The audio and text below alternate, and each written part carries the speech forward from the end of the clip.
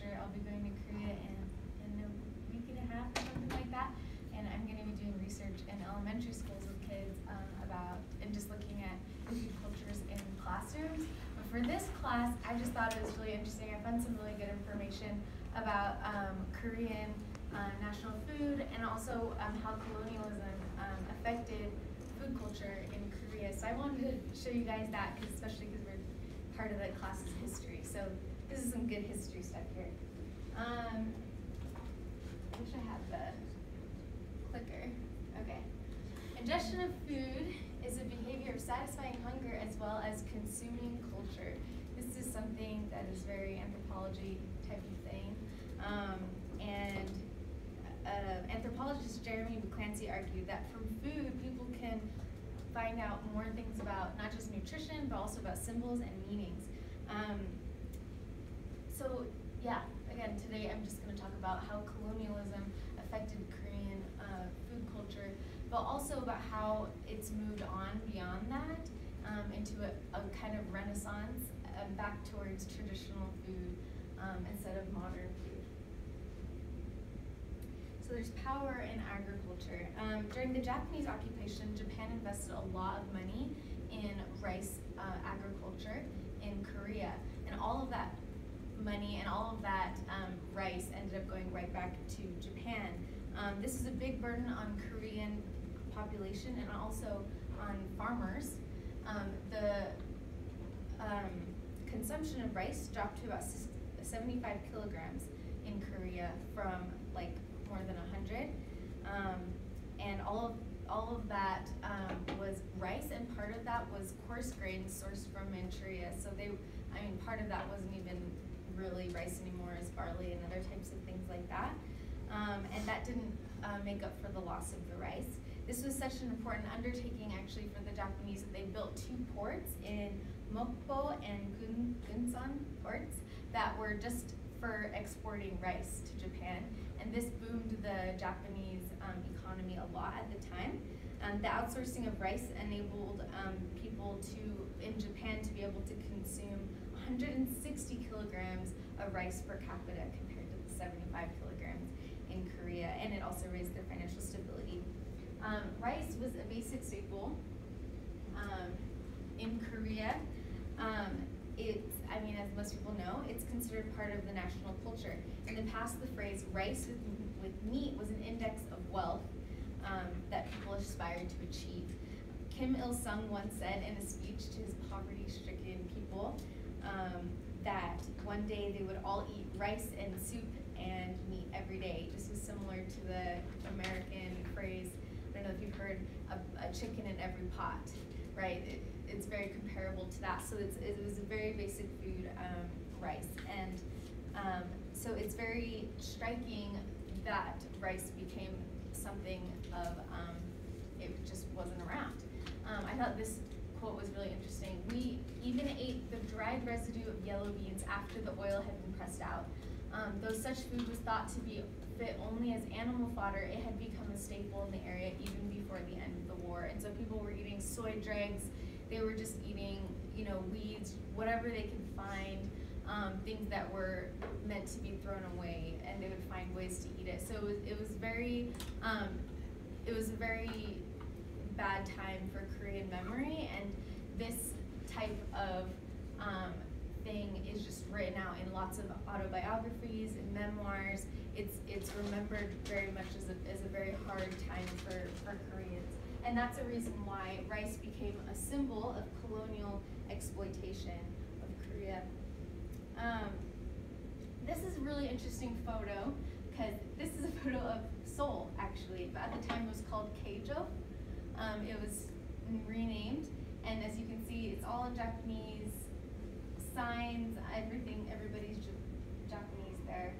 Um, and this kind of shows how um, Seoul and how Korea really became Japan for a little while.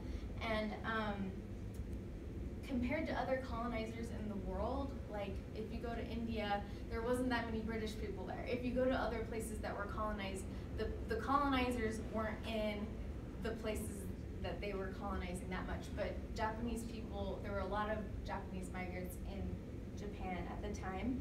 Um, and what was Japanese became what was modern, what was trendy, and what was cool. Um, at this time, Korea became the breadbasket of the Japanese Empire um, and became the consumer for Japanese products as well. And so that's one of the other ways that they were kind of exploited. Um, processed and canned foods um, were not in Japan, uh, not in Korea at the time, but they had been brought to Japan. And the Japanese thought it was um, something up there with trains and the telegraph, something that they needed to adopt. And so they also brought it to Korea, started up all of these factories. Um, and tuna, um, beef, crab, and things like that were, were being produced in Korea. And it started to kind of enter the Korean diet. Um, this is a C-ration. Um, it's an example of army food that people could um, sell on the black market to Koreans. And so this is another way that Koreans kind of gained a taste for, canned food and Western food. And the Japanese also brought a lot of chocolate and candies and things like that that weren't in um, the Korean diet, but Japanese people already kind of had a taste for. Um, I like this quote. What's piggy stew? You collect everything you can eat from the benko garbage, meat and cheese and chicken bones and everything and boil them together in a pot. That's piggy stew. Some people call it UN soup. Um, so budae jjigae, I think you guys all can recognize this. It's a very trendy thing to eat right now and a lot of restaurants have it, but most millennials don't know that don't have any experience with starvation or hunger or anything. And this is just one way that colonialism is still in the diet and in the, the food of Koreans today.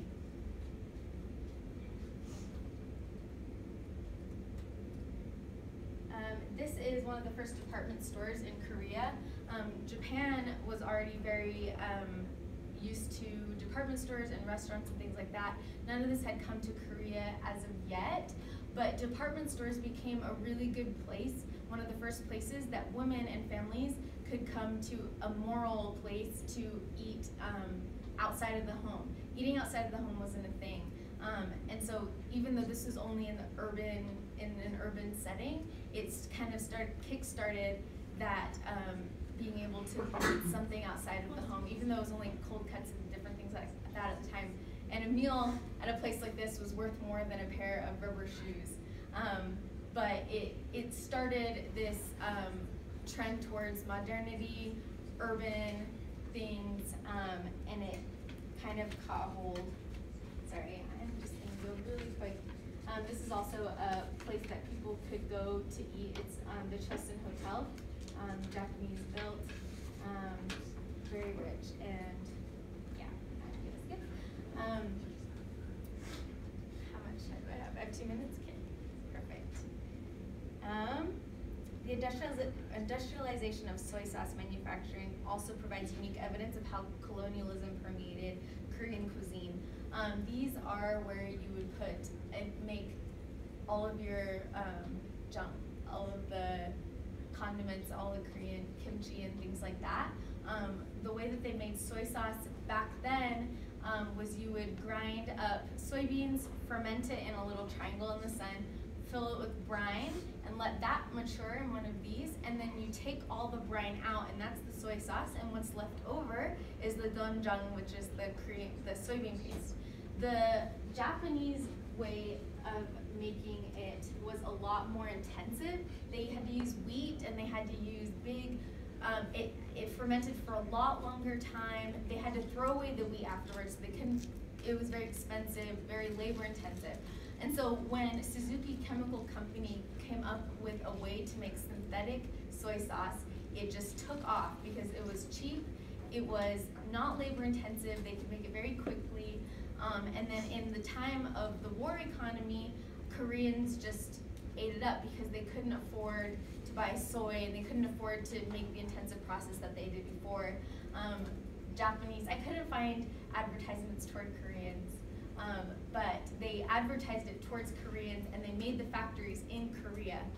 Um, by 1993, no Japanese people were eating, the, eating this anymore.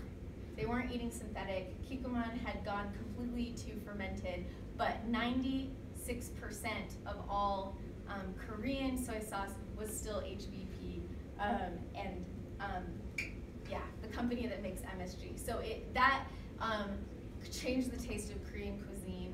Um, before, all the different condiments were different from household to household. Now, Korean cuisine has this overall flavor of the one type of, of soy sauce. So, um, despite all of this change towards globalism um, and all this change from, from colonialism, um, there's been this renaissance that's going back to traditional food um, and back to this idea of earth and body are one, this well-being, um, traditional food is better, and um, it's become this way of showing your national identity. Um, so yeah, in conclusion, um, if we look at Korean food trends and things like that, we can see how um, national food can not only be understood as an attempt to construct national identity, but it's also a postmodern lifestyle that people are enjoying, um, trying to get this local culture instead of and abandoning this westernization.